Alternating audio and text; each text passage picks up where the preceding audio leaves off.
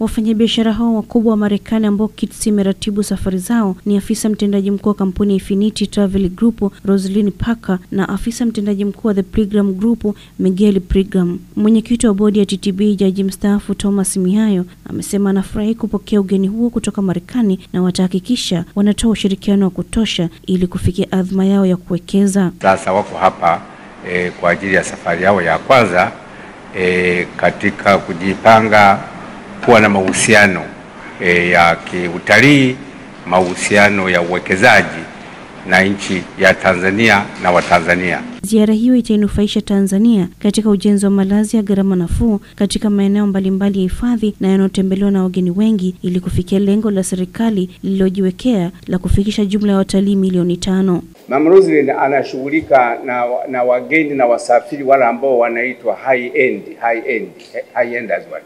End mnaelewa maana yake ni watu ambao wanapenda wanapenda kufikia kwenye kwenye sehemu ambazo ni za hali ya juu kimatumizi na kimaisha.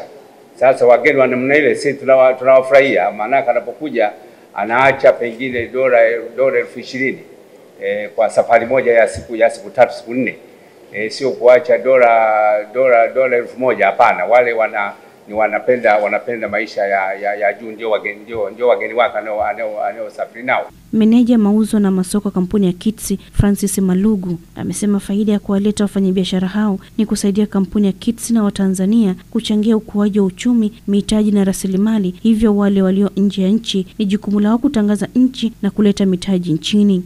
Tuna imani tutatembea katika majiji mengi, karibu majiji yote hamsini ya jimbo la, la ya nchi ya Marekani, kuvutia wawekezaji wengi ambao wana nia ya kuwekeza Afrika kupitia kampuni ya Kilimanjaro International Tourism and Safaris pamoja na ushirikiano na na Biroson tutawavutia wawekezaji wengi kuja kutembelea, na kama alivyosema ni mwezi wa nane tu, kuna watu zaidi ya ishirini watakuja kwa ajili ya, ya, ya kutembelea Tanzania na kuangalia fursa za uwekezaji ambazo zinapatikana hapa nchini.